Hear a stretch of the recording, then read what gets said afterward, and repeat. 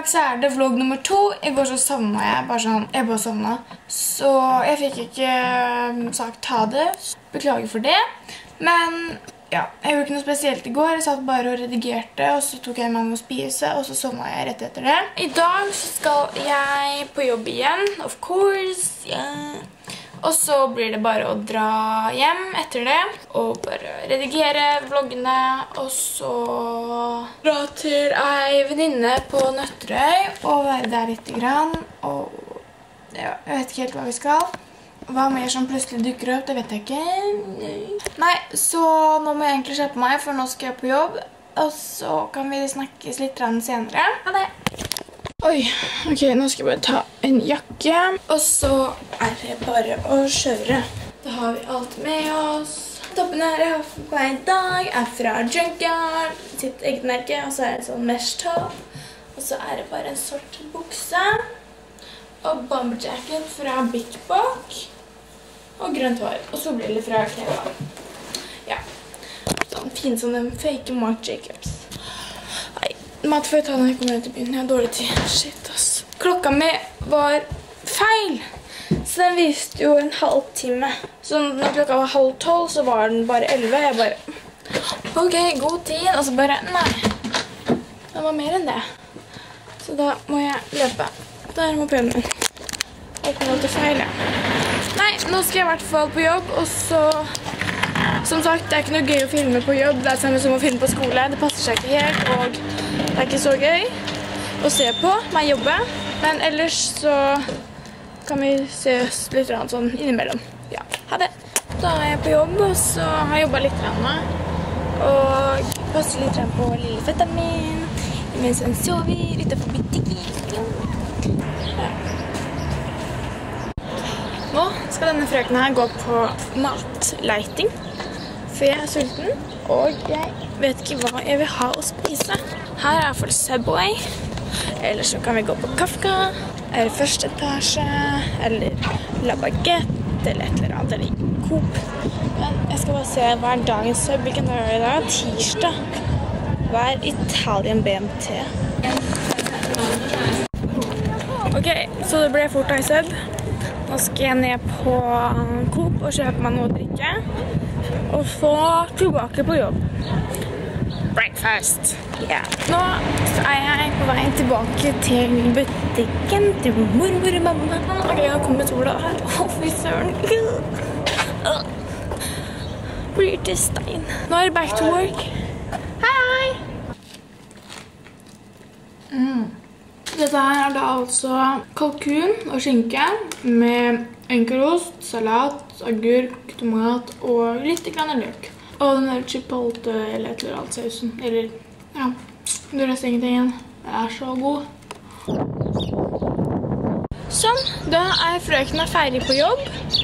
Og er klar for å kjøre hjem og fortsette å rydde og brette klær. Og så, ja, bare setter meg litt ned. Nei, øh, jeg var litt i byen i stad, og så kom noen søte jenter bort. Jeg blir så glad hver gang det skjer. Det kommer noen bort og så vil ta bilder med meg. Jeg blir sånn Å, selvfølgelig! Jeg blir sånn der Så jeg syns det er veldig gøy, da. Det er veldig hyggelig. Nå må jeg bare åke hjem og slappe litt av når jeg flytter meg snart, for nå kommer det kanskje en bil. Men OK. Uh, så ja. Vi snakkes når jeg kommer hjem, så ja, ha det. Sånn, da har jeg akkurat redigert ferdig vloggen fra Splayday. Herregud, så forsinka. Jeg hadde glemt helt at jeg hadde den. Så nå har jeg fått redigert den ferdig, og lagt, eller lastet opp eyebrow routine, sånn at den er klar til å postes. Og så er jeg bare nødt til å sminke meg litt, for nå skal jeg til venninna mi. Bare freshe opp den sminken jeg allerede har på meg, og kanskje ta på øyeskygger noe sånt. Jeg ser litt freshere ut, og sette på nipper eller noe sånt. Ja, vi får se. Jeg må bare kjappe meg nå, fordi jeg skal egentlig starte å kjøre. Jeg skal kjøre nå snart. Så ja, da må jeg egentlig bare hurry, hurry, og så snakkes vi litt senere, ja. Tanteskade! Så nå er jeg ferdig sminka og er klar for å åke til Nøtterøy. Nå har jeg på meg en genser også fra Junkyard. Jeg elsker den. Den har sånn kul sånn print bak. Jeg digger den. Og som dere kan se her da, så har jeg laget to videoer. Som er klare for å egentlig bli lastet opp så snart jeg har tid til det. Ja. Ok, men det var deilig å få det ferdig. For jeg har ikke hatt tid til å få ferdig den vloggen her på lenge. Da er vi på vei, eller nå skal vi kjøre til eh, først Synne og så Iselin for å hente de, og så kjøre de til eh, Nøtterøy, og så, ja, just follow me on the ride.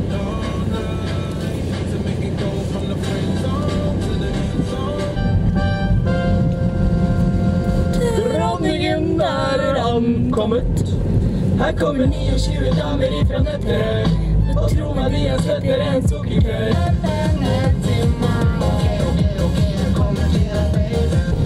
Det er viktig å opprettholde vikeplikten sin, vet du. Ja. Selv om han så litt sur ut da, og ikke bruke blinklys. Nei, sånn er det verden. Det er så gøy med... Unnskyld, Kari. Bakhjulstrekk er faktisk litt gøy. Nå bare sladde rundt. Å, herregud. Kommer jeg forbi deg nå? Ja. Er du sikker? Da er vi hos Synne og venter på Synne. Så ja, prekas.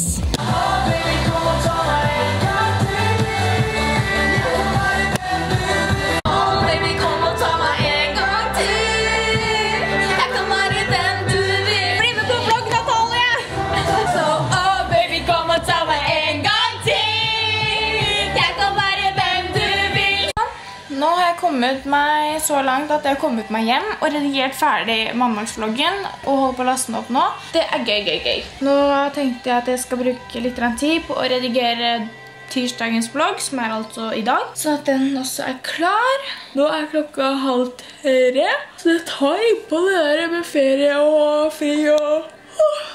Ja, i hvert fall. Nei, nå dro akkurat Josefine, for hun kom og var litt hos meg frem til nå. Ja, obviously. Men nå dro akkurat Josefine, så da hadde jeg tid til å vlogge litt grann, og bare si short oppsummering av eh, i dag. Etter jeg kom hjem, så så jeg på Skam.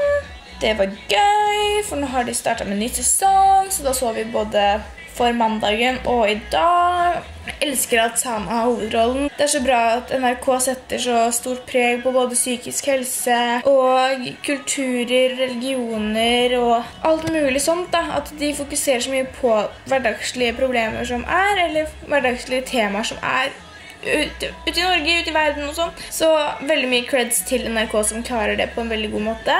Jeg er veldig lei meg at de ikke har en sesong med Vilde, for det hadde vært veldig fint å sett liksom Jeg vet ikke. Hun sliter jo med spiseforstyrrelser eller noe sånt. Eller gjorde, eller jeg vet ikke. Noe sånt, hvert fall. Så det hadde vært litt gøy å sett litt av hennes side òg, men ja. Får håpe at det kommer kanskje senere eller noe, jeg vet ikke. Men uansett, jeg gleder meg masse, og jeg elsker Skam. Det er det beste. Men nå begynner klokka å bli såpass mye at jeg må egentlig avslutte den vloggen her, for ellers så blir jeg evig sliten. Så ja. Nei, jeg håper i hvert fall at dere likte dagens vlogg, og at dere kommer til å fortsette å se på de, så mm, I love you. Ha det!